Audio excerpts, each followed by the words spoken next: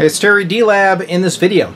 We're going to return to the testing of that small Class A amplifier comparing the two output transformers offered by Amplified Parts. Rather than doing it by ear, we're going to do it with instrumentation. So after airing the video, comparing the Amplified Parts Champ output transformer to the PT31, many of you wrote in and said, hey, that's a nice comparison by ear, but how about some real data? Can you show us a frequency sweep? So that is exactly what I'm going to do. So here's the test setup. Same amplifier is being used with the little platform and the switch that will toggle between the Champ and the PT31. I have a scope in the background so you can watch the sine wave. The output of the amp is going to a D-Lab dummy head box Signal source is an HP 3562A signal analyzer.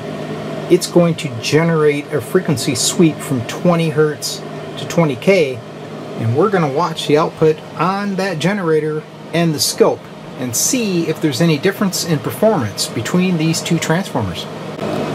So the first test will be in the P-T31 output transformer position. I'm going to hit start on the signal generator.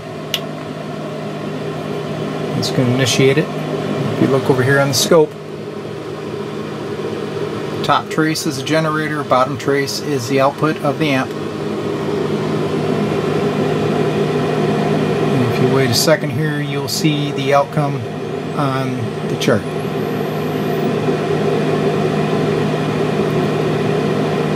There it is, measurement complete. Now we'll flip over to the champ reinitiate that test.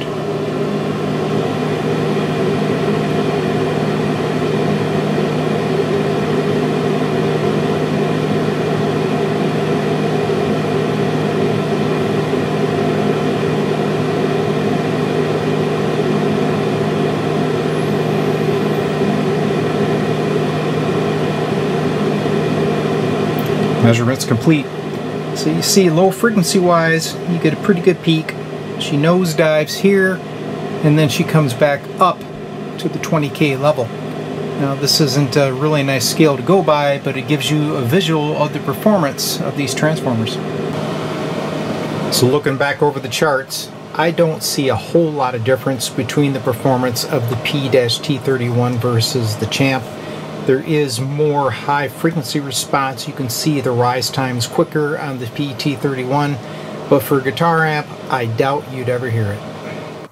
Well, that wraps up my testing on these output transformers. If you're interested in either the PT31 or the Champ style output transformer, you can buy both of these on amplifiedparts.com. They're around $20 a piece, but if you use the code DLAB10, you can save 10%. And if you spend over $95 on your total order, you'll get free shipping.